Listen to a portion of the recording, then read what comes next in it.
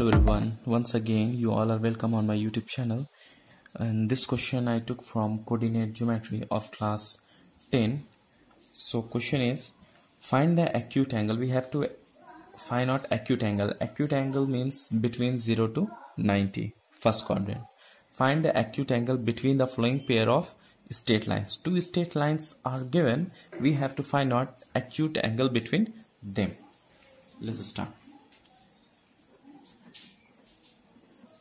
we have two equation is given.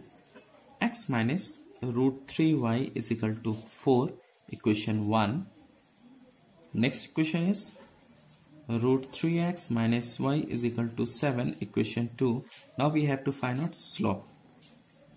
Slope of equation 1 let m1 formula is minus coefficient of x by coefficient of y coefficient of x is what is here? 1 and coefficient of y is what is here? We have to take my this sign also minus root under 3 is equal to 1 by root 3 minus minus plus. Similarly slope of equation 2 m2 is equal to formula same minus coefficient of x. Coefficient of x what is here?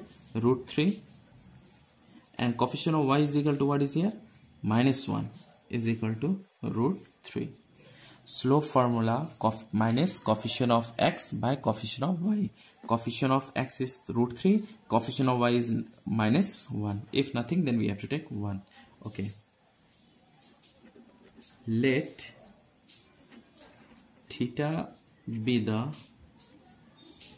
angle between two straight lines 1 and 2 so tan theta formula is plus minus m1 minus m2 by 1 plus m1 and 2 plus minus m1 is equal to what is here? 1 by root 3 minus m2 is equal to what is here? root 3 root 3 1 plus m1 is equal to 1 by root 3 and m2 is equal to root 3 plus minus root 3 root 3 cancel. And here we have to take LCM root 3 so 1 minus root 3 root 3 means 3 by 2 okay clear? After this plus minus 1 minus 3 means minus 2 by root 3 into 1 by 2 this and this cancel. Plus minus minus 1 by root 3 okay clear?